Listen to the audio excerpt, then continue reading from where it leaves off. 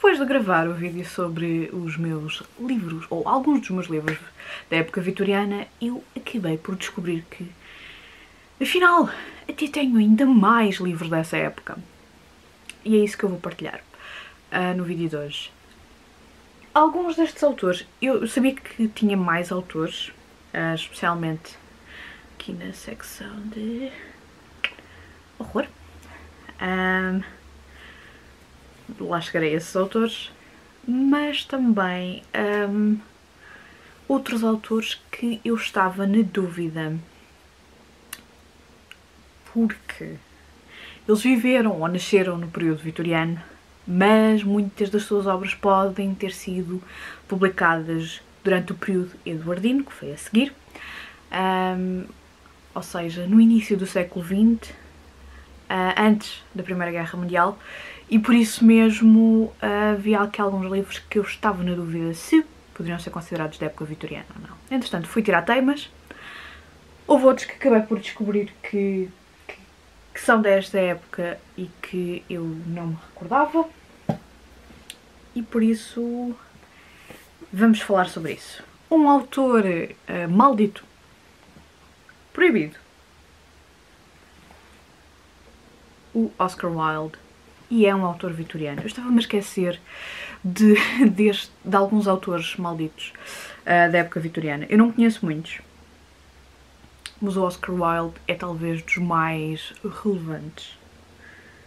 Portanto, dele eu tenho O Fantasma dos Canterville, que eu acho que é da época vitoriana. As peças de teatro, eu não tenho a certeza se todas são da época vitoriana.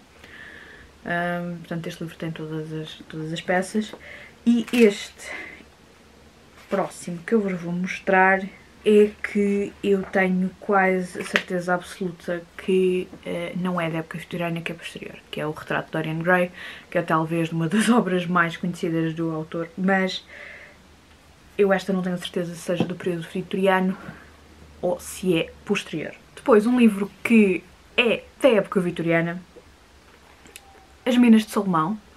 Não se esqueçam que As Minas de Salomão não é do Essa de Queiroz, foi apenas traduzida pelo de Queiroz. Um, as Minas de Salomão são de, uh, de um autor que se chama Reader Haggard e este é apenas o primeiro livro de uma série de 10 livros. Uma série de. Portanto, isto era um livro de aventuras que se passavam entre uh, o Reino Unido e África, mas mais particularmente um, África. E o continente em si, porque eu não sei em específico, não me recordo em específico a zona em que se passa. Se nunca leram As Minas de Salomão, é um excelente livro de, de, de, de aventuras. Um, esta tradução do Essa de Queiroz é absolutamente fenomenal. Talvez a maneira mais fácil de ler algo escrito por Essa de Queiroz que não foi escrito por ele. Daí ser talvez ali o, o senão. E é muito, eu acho que é muito interessante. Eu do, do, do autor, do Reader Haggard, uh, nunca li nada ou nunca li mais nada, a não ser as Minas de Salomão, nesta tradução. Uh, mas definitivamente que é um autor que eu ando a namorar um livro, que é o She, porque há várias referências uh, num dos livros que eu li sobre o Senhor dos Anéis, uh, ou sobre a escrita do Senhor dos Anéis, há várias referências a esse livro, e então, e era um livro que eu já andava a namorar várias vezes, há muito tempo no Awesome Books, é um livro que, que, daqui a uns anos poderá vir viver aqui para as minhas estantes. Depois, o próximo autor que eu vou, vou mostrar não é toda a obra dele que é da época vitoriana, ele tem alguns contos dele são da época vitoriana, mas os contos, porque ele é mais conhecido, são posteriores, são da... são posteriores não. Estou a ter dificuldades com, com, com, com o tempo são. É, os contos deles mais conhecidos são da época da Primeira Guerra Mundial. No entanto, alguns contos dele são da época vitoriana. O autor é o Arthur Machen e neste livro, O Grande Deus Pan, este livro tem quatro contos.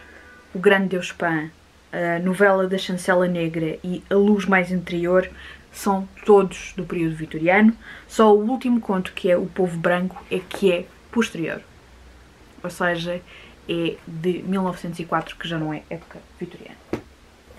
Depois, o, no livro O Terror, é que eu acho que só tem um conto que é da época vitoriana. Este livro tem três contos. Uh, o Terror e O Grande Retorno são ambos durante, uh, que foram ambos publicados durante a Primeira Guerra Mundial e A Mão Vermelha, que é o conto que está no meio, um, foi publicado durante o período vitoriano. É engraçado. Há uns tempos atrás eu fui ver isto, porque tinha aqui já quando é que era o período vitoriano. Já, já, já andava a fazer notas para estas coisas sem saber, porque já não lembrava que estes livros eram desse período. Eu penso que nem todos os livros deste próximo autor também sejam da época vitoriana, mas eu vou mostrar-vos o que tenho por aqui. O autor é o Rudyard Kipling. Falta-me aqui um. Agora sim, já tenho todos. Um, é um autor mais infanto-juvenil, mas também tem coisas para adultos. E eu este é que eu não, não tenho mesmo a certeza do, dos anos, eu acho que ele tem algumas coisas que foram publicadas uh, já depois, no início do século XX, mas, mas vamos a isso. Portanto, o primeiro que eu vos vou mostrar é este, The Cat That Walked By Himself, O Homem que Quis Ser Rei. Uh, o, o Rudyard Kipling, para, para além de ter sido um prémio Nobel já no início do século XX, em 1907, um, é também. Um, ele escreveu muitos contos. Okay, eu penso que este livro seja mais tardio, que é o, Os Livros da Selva. Este livro tem tanto. apanhou tanta umidade, ele está tão amarelo que tem um cheiro simplesmente horrível. É daqueles uh, livros que eu raramente uh, pego neles e por isso mesmo acabo de me esquecer que cheira muito mal.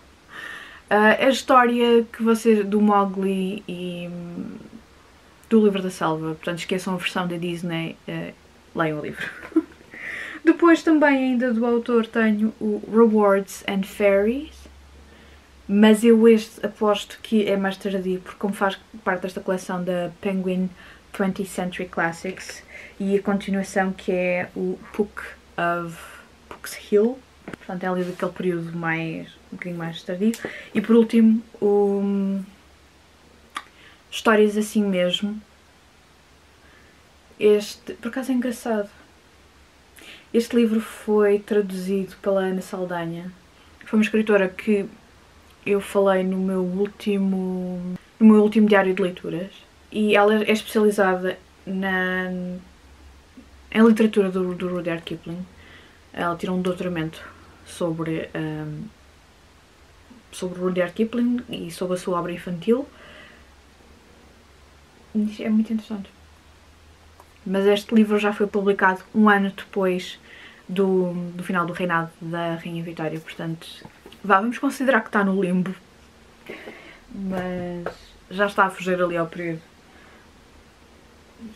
da época vitoriana. Depois, um autor que eu me esqueci completamente que era deste período, que é o Bram Stoker, o Drácula um excelente livro para ler agora em outubro. Ou então, O Hóspede do Drácula, que eu acho que este é uma continuação deste, é um conto. Mas eu, eu por acaso ainda não li nada do Bram Stoker. Estou a falhar, eu sei. Mary Shelley, Frankenstein. Se estiverem interessados em poesia, então procurem por uh, o uh, marido da Mary Shelley, que eu agora me estou a esquecer do nome, mas é qualquer coisa. Shelley, Percy Shelley, deve ser isso. Frankenstein é espetacular e esqueçam-se tudo, esqueçam tudo aquilo que vocês sabem sobre o Frankenstein e deixem-se surpreender pelo livro, porque o livro, uh, a história, não tem nada a ver com aquilo que nós achávamos que era a história. Eu li e gostei imenso. Ainda também de Mary Shelley, contos góticos. Um, vale a pena ler, apesar de ser uma onda ligeiramente diferente do, do Frankenstein, esta versão em português já não deve ser muito fácil de encontrar. Uh, eu acho que esta editora já não existe. Um, mas pronto. É, são contos que valem a pena. Existe, especialmente o, Cold, conto Matilda, vocês conseguem encontrar uh, em inglês numa daquelas versões dos uh, Penguin Little Black Classics, acho que, é esse, acho que é esse o nome. Mais um autor que me esqueci. Lewis Carroll. E então, o que é que eu tenho aqui? Tenho Alice no País das Maravilhas, nestas edições assim, assim. Um, Alice do outro lado do espelho, nesta, nesta edição assim mais, mais pequenita. E depois uma edição em inglês que é Alice Adventures in Wonderland, que tem os dois livros e que uh, é ilustrada por um ilustrador vitoriano, que é o Arthur Rackman. Um, por acaso é um ilustrador que eu gosto bastante e ele ilustrou muitas coisas de, da época. Se uh, conseguirem livros uh, da época vitoriana com ilustrações da época, então é absolutamente fenomenal. Eu tenho fascínio por alguns, por alguns ilustradores da época. O Arthur Rackman é um deles. Uh, estou-me a esquecer do meu favorito. O Aubrey Beardsley é um... Posso-vos mostrar aqui. É um dos meus autores, uh, ilustradores favoritos. Uh, é também é como... Tal como Oscar Wilde, era um ilustrador maldito, já agora, se tiverem interesse em ler sobre uh, uma revista que existiu, que se chamava Yellow Book, uma revista ilustrada e que foi... não sei se foi criada pelo... pelo menos o Oscar Wilde estava envolvido. Era uma revista muito à frente do seu tempo e, obviamente, era avant-garde, era decadente, era maravilhosa. Um, se quiserem saber mais coisas sobre essa revista, então uh, recomendo lerem este livrinho que faz parte dos Penguin Little Black Classics.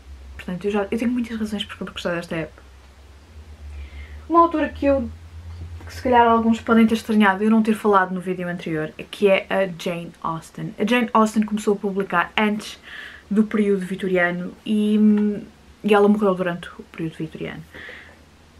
Uh, por, eu tenho aqui dois livros dela só, o Northern, Northanger Abbey e o Persuasion, porque foram ambos publicados postumamente durante, e durante o período um, vitoriano. Os outros livros eu não tenho a certeza uh, de... Não tenho a certeza das datas em que foram publicados e por isso mesmo não tenho a certeza se foram publicados ainda no período vitoriano. Até porque Uh, eu estava a ler há uns tempos, há uns tempos não, ainda foi ontem, ou há pouco, já não sei, uh, que os, realmente o, a Jane Austen, o facto dela conseguir ter escrito como mulher foi algo que ajudou autoras do período vitoriano a publicar com o seu próprio nome.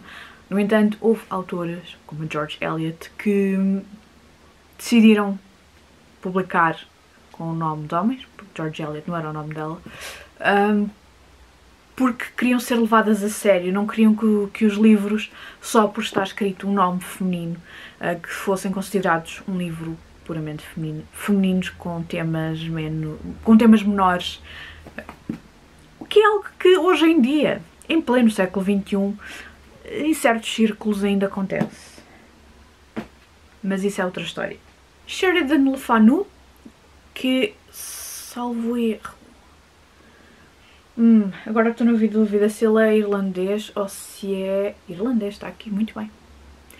Sheridan Le Fanu tem a fantástica obra que se chama Carmila, que uh, é uma das primeiras contos uh, com lésbicas e vampiros.